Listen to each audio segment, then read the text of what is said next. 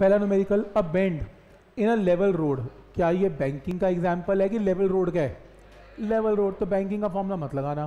तो level road है has a radius R given है। फाइंड द स्पीड जिससे कि कार मूव करेगी बिना स्किडिंग के। म्यू गिवन है आपको तो एक ही फॉर्मूला हमने किया। Under root of mu R G mu put करो आर पुट करो जी पुट करो। क्या पॉइंट क्लियर है? कौन सा फॉर्मूला इसमें अप्लाई करेंगे? नेक्स्ट है कार जिसका मास एम गिवन है is moving with speed of V given है।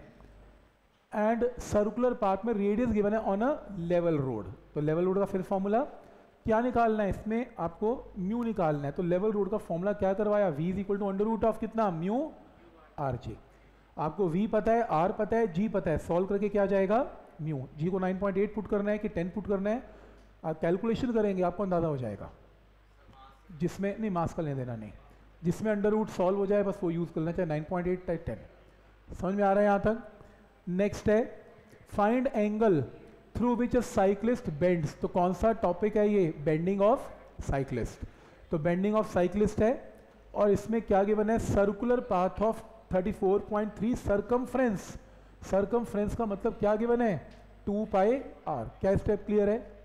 और एक सरकमफ्रेंस कितने समय में कवर करता है? अंडर रूट ऑफ़ 22 सेकेंड आपको इसमें क्या निकालना है?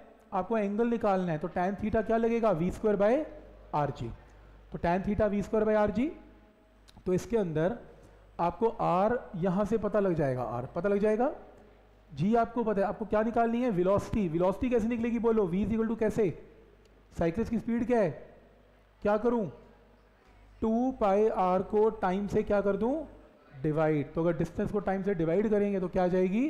विलोसिटी तो इस वेलोसिटी की वैल्यू को सॉल्व करके यहाँ पुट कर लेना टेन थीटा आंसर आएगा। मेथड समझ में आ रहा है?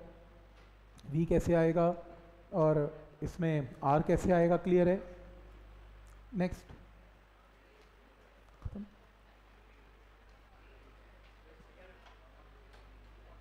ठीक है. कोई डाउट इसमें. No, sir.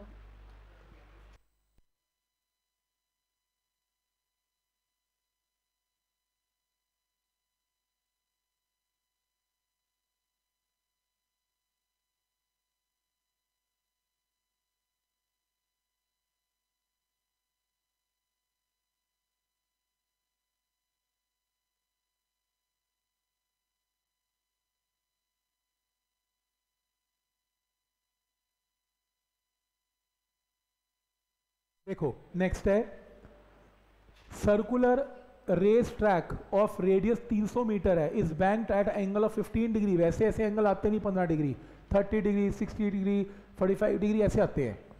म्यू गिवन है। What is the optimum speed of the car to avoid wear and tear of a tyre बंदा बंदा जो है, वो कहता है कि मुझे स्पीड निकालनी है और इसमें मुझे क्या चाहिए? भाई मेरा टायर नहीं घिसना चाहिए। मेरे पास, मैं टायर चेंज नहीं करवा सकता। टायर ना घिसे, वो कहता है। फिर टायर ना घिसे तो फिर क्या करेंगे इसमें? बैंकिंग कर ले भाई तू। फ्रिक्शन हटा देते हैं, तेरी म्यू हटा दे। कह रहा म्यू ज़ीरो ही कर देते हैं तेरा। तो म्यू ज़ीरो तो तेरे लिए फ्रिक्शन ही हटा दी।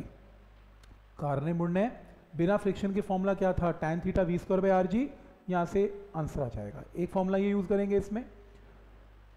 पॉइंट क्लियर है यहाँ तक? देखो, ये क्वेश्चन बैंकिंग ऑफ़ ट्रैक का है। राइट तो बनता तो ये फॉर्मूला है। पर ये नहीं यूज़ किया। बंदा कह रहा है, मैंने टायर घिसाना ही नहीं। टायर नहीं घिसाना तो बैंकिंग तो करेगा। तो पहले केस में स्पीड निकालनी है। जब टायर का वियर एंड टेयर ना हो तो म्यू को क्या कर दिया हमने?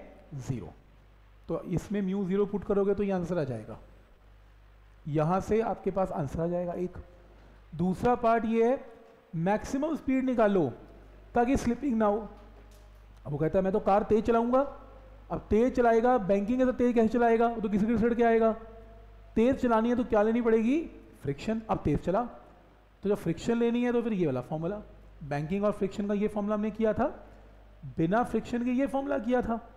पहले केस में उसने कहा कि मेरे को बैंकिंग चलेगी, पर मेरे को फ्रिक्शन नहीं चलेगी। कैसे पता लगा? वो कह रहा है टायर का वियर एंड टीयर चाहिए नहीं मुझे।